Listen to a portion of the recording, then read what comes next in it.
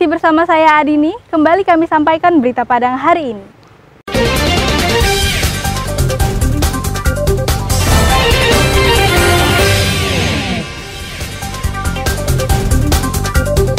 ...165 jemaah haji asal Pasaman Barat kembali ke kampung halaman.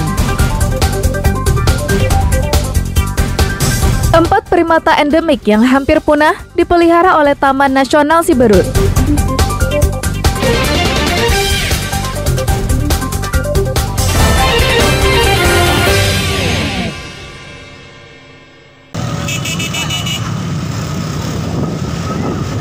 Sekelompok remaja yang masih berpakaian sekolah kedapatan berkonvoi dengan sepeda motor di seputaran Gor Agus Salim, pusat kota Padang.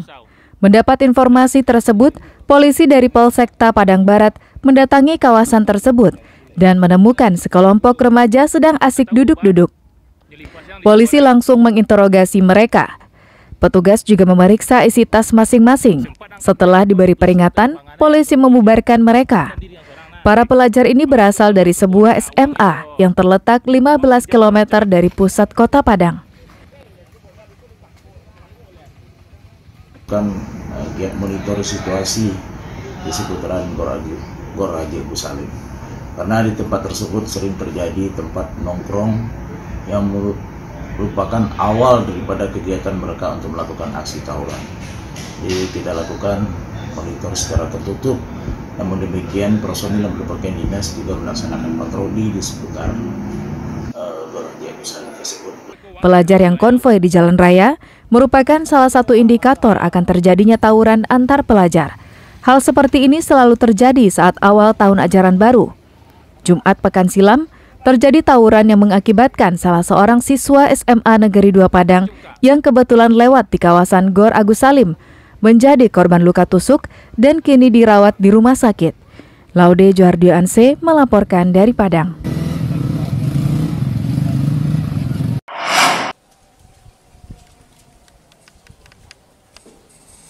Daging ternak yang terpapar penyakit mulut dan kuku aman untuk dikonsumsi. Sebab PMK bukan penyakit zoonosis, sehingga penyakit ini tidak berpindah dari hewan ke manusia. Hal itu disampaikan Kepala Bidang Kesehatan Hewan Dinas Peternakan dan Kesehatan Hewan Sumatera Barat hari Selasa.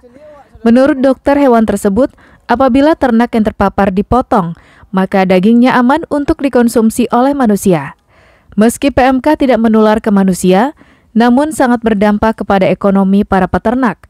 Jika satu ekor ternak biasanya seharga 25 juta rupiah, namun jika terpapar PMK, maka sapi tersebut harganya akan turun drastis hingga separuh.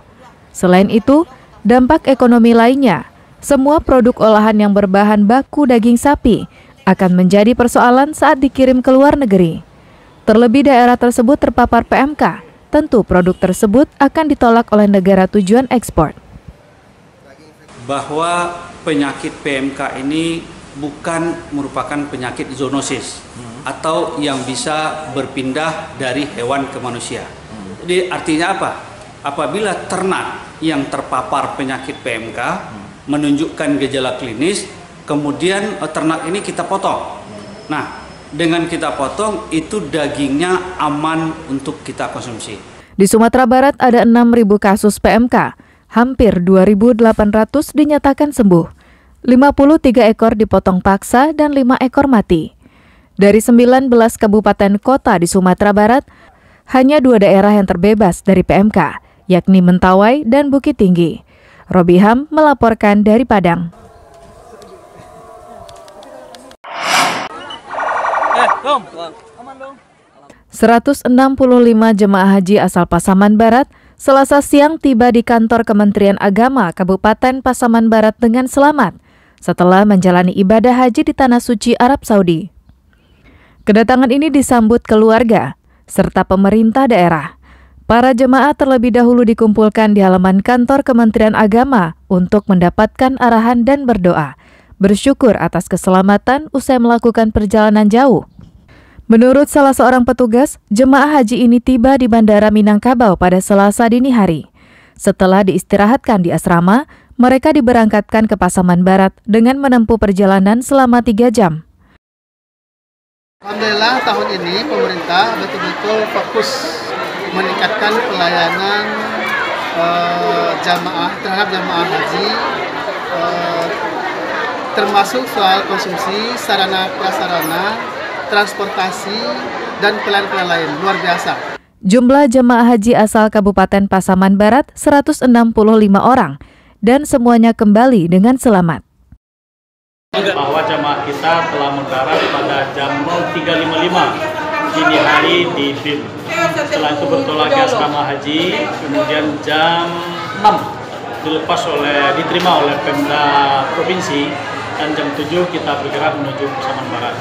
Jumlah jamaah kita 165 orang berangkat, Alhamdulillah pulang 165 orang dalam keadaan sehat walafiat. Usai dikumpulkan di kantor Kementerian Agama, jemaah haji pulang ke rumah masing-masing. Safaatul Ulum melaporkan dari Pasaman Barat. Bilo atau siamang kerdil yang nama latinnya Hilobates closi merupakan salah satu hewan primata endemik yang berada di Kepulauan Mentawai yang paling terkenal. Saat ini, keberadaannya sudah mulai langka. Tiga primata endemik lainnya yang juga hampir punah, beruk atau bokoi, simakobu atau monyet ekor babi, dan joja atau lutung mentawai. Empat primata endemik tersebut terancam punah akibat perburuan dan kerusakan hutan habitat mereka. Upaya menjaga kelestarian empat hewan endemik terus dilakukan oleh Taman Nasional Siberut. Salah satunya dengan merawat dan memelihara secara sementara hewan-hewan tersebut. Hewan hasil tangkapan atau yang diserahkan warga terlebih dulu dilatih mengenal alam lingkungannya sebelum dilepas liarkan. Dengan cara itu, hewan endemik mentawai ini terjaga kelestariannya. Taman Nasional Siberut merupakan salah satu taman nasional yang ada di Sumatera Barat dengan luas 190 ribu hektar dan terletak di Pulau Siberut. Taman nasional ini lebih luas dibandingkan jumlah tiga pulau di Mentawai, Pagai Utara, Pagai Selatan, dan Sipora digabungkan. Luas gabungan ketiga pulau besar di Mentawai itu hanya 7.670 hektar. Selain Bilo ada juga Bokoi. Kita juga dimasukkan ke kandang transit. Uh, dan juga selain Bokoi sempat juga ada Joja. Uh, Bokoi pun sudah dilepaskan di uh, hutan Bekemen. Tahun ini tiga Bokoi sudah dilepaskan di Bekemen. Kan? Nah, kita uh, kita perlahan-perlahan untuk memberikan uh, pola supaya liar sifat liarnya muncul kembali gitu agar tidak ketergantungan lagi saat dilepaskan di hutan tidak mencari tidak meminta makan lagi gitu dia bisa mencari makan sendiri seperti itu Berdasarkan hasil monitoring pada tahun 2014, hewan endemik tersebut masih dapat ditemukan di enam titik dalam areal Taman Nasional Siberut, di antaranya di daerah Bekemen, Matotonan, Kaleak, Sirirsura, Sagulebek, dan daerah Saibi. Beni Eka Putra melaporkan dari Mentawai. Pemirsa, demikianlah perjumpaan kita dalam Berita Padang hari ini. Saya Adini dan tim redaksi yang bertugas pamit undur diri. Selamat beraktivitas dan sampai jumpa.